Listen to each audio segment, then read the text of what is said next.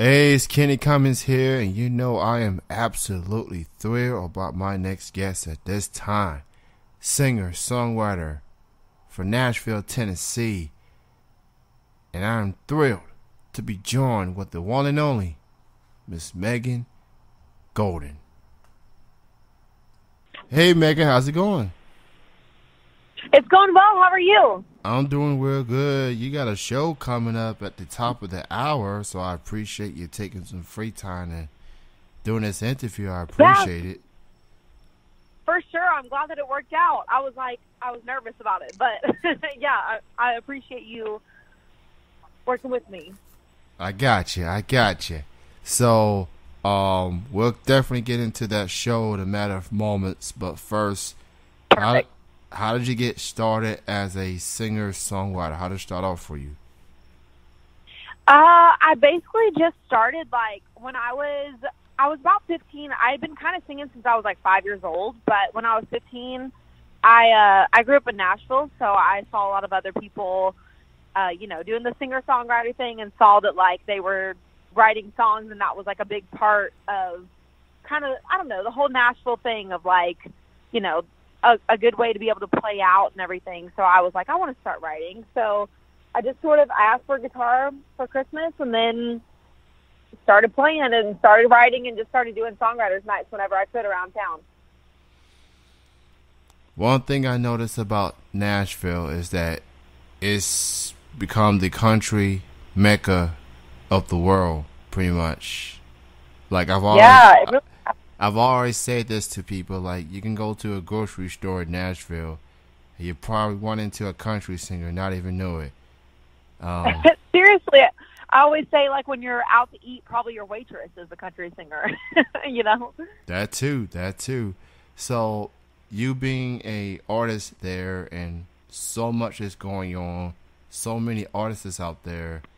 Like you as a performer, like what's the experience like going to these shows and seeing so many talented musicians and interacting with them and stuff like that? It's really great, honestly. Like, I think I'm very thankful that I grew up in Nashville because I think that's a big part of why I, I got into doing it was because a lot of places I went, everyone, and I, I loved singing since I was little, but everywhere I went, everyone was writing and, um, you know, like really chasing after like their artistry and all that stuff. So it was a big part of me wanting to do it, like seeing everyone else do it, I was like, I want to do that. And like, I I saw the hard work they were putting into it, and I was like, okay, that's what it takes. Like, these people are working every day, writing every day, like you know, playing whatever shows they can, um, and doing the most. That like that helps me a lot, just being able to see everyone around town doing it and be like, okay, that that's what it takes. You know, that like work ethic for sure. One thing I admire about you, in addition of you being a very talented singer songwriter, is you have quite the personality.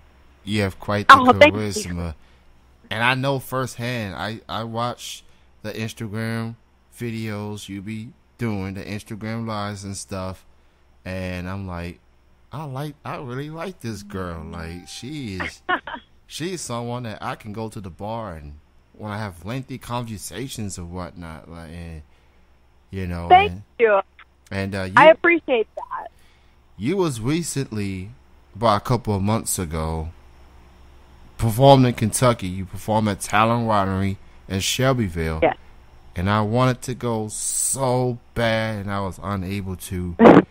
but hopefully, the next time you head to Kentucky, I'll be able to make it. Um, yeah, I'm hoping to be back soon.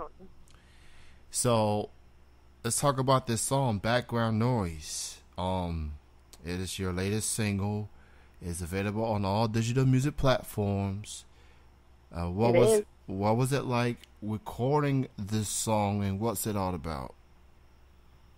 It was so much fun. So I got to write this song with a guy who has produced a lot of my music, um, and then two other guys. The producer Frank Leger um, who I've written with many times before. But then Ryan Robinette and Ty March both wrote on it, and they're both artists as well, and have a lot of amazing music, but are also just like really cool songwriters. And I was super excited to get to write with them. Um, and I had this idea. I was like, I want to write this song about like I want it to be called background noise, and I want it, you know, just to be about like, I don't know, just kind of like all these, like re- like another failed relationship, and it's just all background noise. You know, it's just all like, it it doesn't bother you too much. I guess is like kind of the goal of it, and so. Um, I kind of like explained it to them, and they were like, "That's a cool idea," and they just like helped make it like they saw what I was envisioning, which sometimes, you know, it's hard to get everyone on the same page of like what I wanted it to be. And I just felt like they helped make it so much better than I could have been able to make it on my own. And so we had a blast writing it. Um, and I was excited about it. And I, you know, I felt like it was true to me and everything. So yeah, we ended up recording it and, uh, putting it out there and it became the next single. So, which was very exciting. I was super stoked that this one made it as the saying goes, teamwork makes the dream work. Or in this case, yeah, for sure, makes a yeah. song. And luckily in Nashville, there's so many people that are just so crazy talented. I'm always like so excited that they're a part of like what I'm doing. You know. Absolutely. So you got a show coming up tonight at the top of the hour. There are some changes on the show, but the show itself will still go on as planned. Um, talk about yeah. the show you got coming up, and for people that hasn't seen Megan Golden perform before, what can they expect? Uh, so tonight I'm playing. It's going to be a songwriters round, which is fun because it's. Um, I think it's kind of a Nashville thing, but for people who aren't from Nashville, it's kind of basically usually about four writers will all just like line up and we'll go back and forth, and each you know, play songs that we wrote and just go until the hour's up. Um, so we'll play probably like three or four songs a piece. Um, and yeah, so I just do my songs acoustic, which is kind of fun. Like some of my songs are pretty acoustic anyways, but a lot of the songs I've been putting out recently are, you know, they have like, uh, kind of like a lot of production on them, I guess. So it's kind of fun to play them just acoustic and, um, kind of stripped down to like what they were when we wrote them, you know? So yeah, we're doing that tonight. And I actually don't even know the fourth person had to cancel, and so there's going to be a new fourth person, and I don't even know who the fourth person is going to be. So I'll be finding out soon as well. Element of surprise, as people say. Yeah. Um, exactly. So it's going to be at the Commodore Grill, and um, the performers, as of right now, Alana uh, yourself and another person that I'm familiar with, Dallas Remington. She yes. is someone I've interviewed in the past. Southern oh, nice. sweetheart of a person oh, yeah. she is. She got an incredible song called Freedom out right now. Uh, go check yeah. that out if you're in the Nashville area this evening.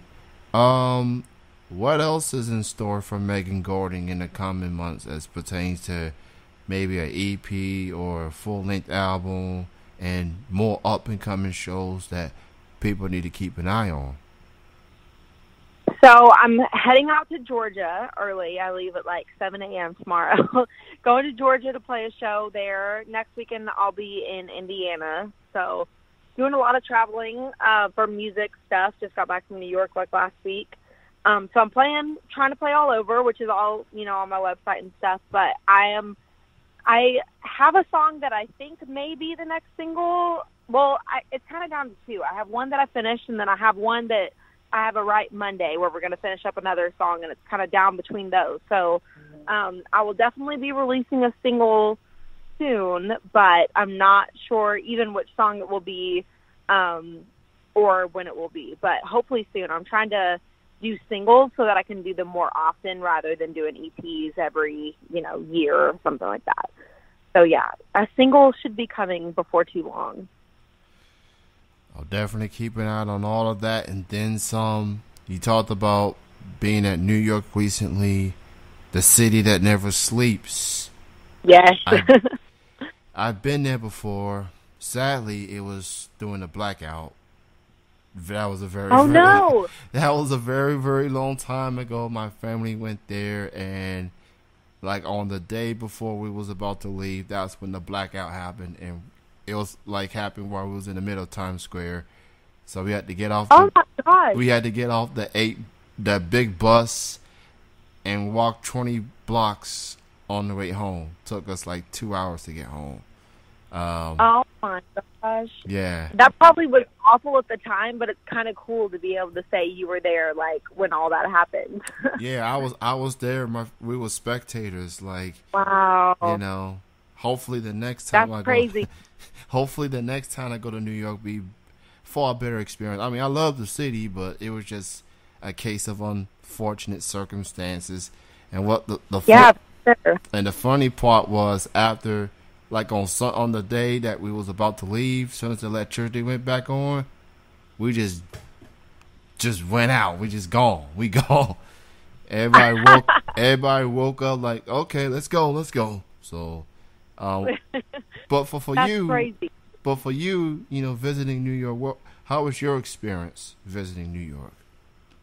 It was it was actually really great. Um, it was very stressful because I I had never done a show out of town um, where I didn't drive, so I flew there. So I, there was a lot of stuff I couldn't take with me, like a lot of my sound stuff. So it was a little bit more stressful than normal, but it was it was so much fun, and I had the best time, and I love the city, and everyone was so nice, which was I was not expecting that because everyone always kind of talks about, you know, like everyone's so nice in the South and like up north it's not like that. And that's like what I've always heard. Um, but everyone was super nice. Like we got lost so many times on the subways and people would stop us and be like, Hey, you look lost, like what can I do to help? Or just like stop and ask me like, Why are you carrying a guitar around? And I would tell them, you know, like I'm playing a couple shows and I don't know. Everyone was just super nice, and I had like a really great experience. And I I want to go back so bad where I have a couple days because I was pretty packed with my schedule this trip, and I want to have a couple days to just like roam the city and just like you know hang out instead of just being like okay I got to get here and I got to get here you know. So I'm hoping I can go back soon because it was seemed so great and it really was a great experience, and I want to go where I'm not as stressed about shows and stuff. So before I let you go, Megan, uh, why don't you go ahead promote your social media links and where can people stream and purchase your music? Okay. Um, I have a website which is www.megangolden.com. Megan is M E G A N, and Golden is just like the color. Um, but it's got links to all my social media there. But if you're looking for me on Instagram and Twitter, it's at Megan A Golden. You search Megan Golden on iTunes and Spotify, I've got lots of original music up there. Um, but like I said, if you have any trouble finding it, megangolden.com is the best place to get links to all that stuff. So go check that out. And if you're in the Indiana and Georgia area, she's headed your way. Uh, support local music, support independent music, and check out Megan Golden. Not only you will enjoy her music, you also enjoy her personality. She's worth the price of admission. Uh, thank you so much for your time. And one more Thank you so much. and uh, one more quick question. Uh, Okay. You know the your last name is Golden, um, Yeah. and you know that's just one of those names that people could easily use as a pun. Like that was Golden. yeah. D- does that bother you sometimes when people use your name as a pun? it's funny because it it doesn't bother me, but people say it all the time, and I'm always like, are they saying this because they're trying to be, you know, they'll be like, oh, it's it's golden, or like that was golden, and I'm like.